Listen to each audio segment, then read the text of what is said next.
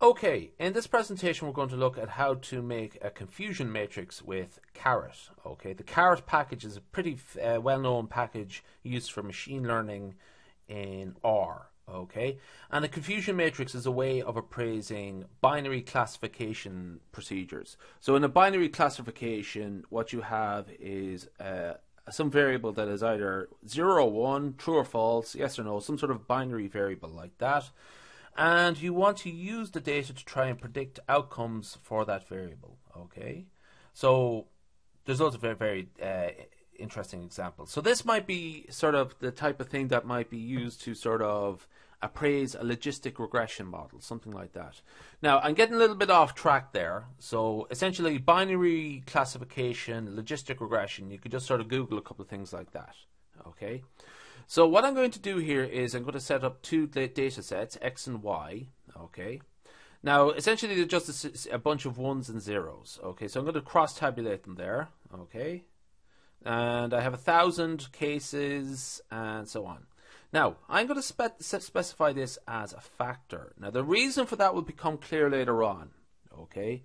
In fact, the reason for that is you have to be very clear as to which is the positive case. Okay, so it doesn't automatically assume zero one. It's it's good to actually name it. Okay, now so or be as specific as you can. So there's a cross tabulation. Okay, now I'm going to go with uh, zeros as the um, uh, negative case and ones as the positive case. Okay.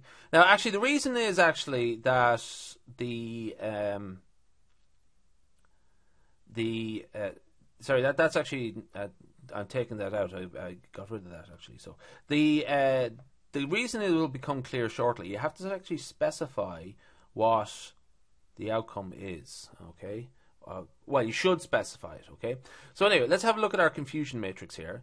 And just actually an important remark, the predictions sort of go in first, then the true values, or uh, here known as the references. So for my little data set, X is going to be the predictions and Y is going to be the references, just because they're random data and that's they're only for demonstration purposes. Okay. Now here, what I'm going to do is I'm going to specify that the positive equals the case one. Okay.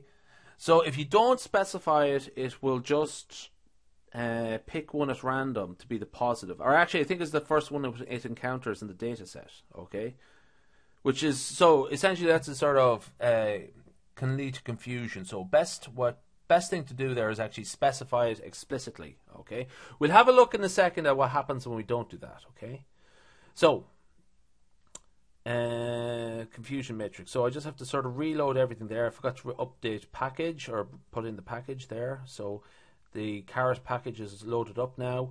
And let's just run through. You might have noticed how quick that was, actually. That was very quick. Let's do that again, actually. That was really quick. Okay.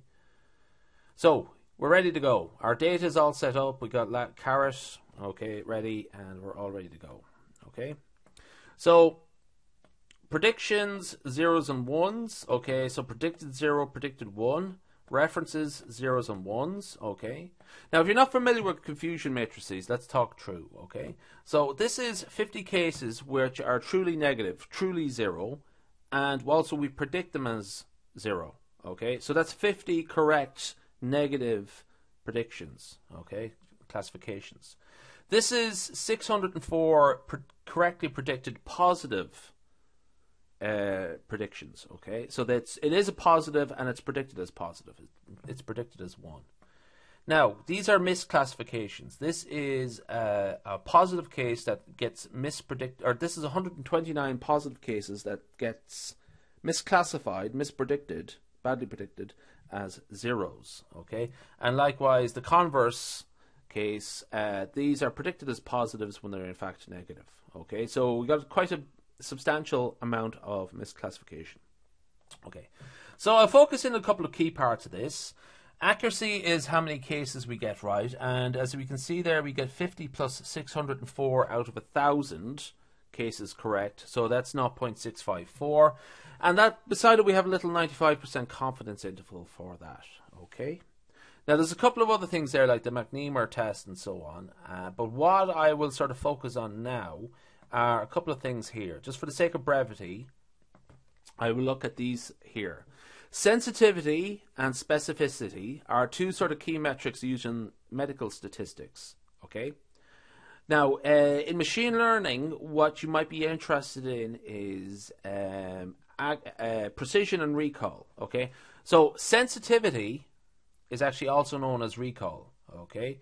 And this positive predicted value is known as precision. So this is the accuracy. This is the precision. So it's just under a different name.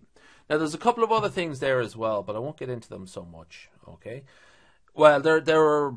This is sort of five minutes into this video already. So anyway, positive case is one. Okay, that's important. Okay. So what happens if you don't put that in? Let's take that out for a second. What happens when you don't put that in? All of these numbers are wrong. Okay.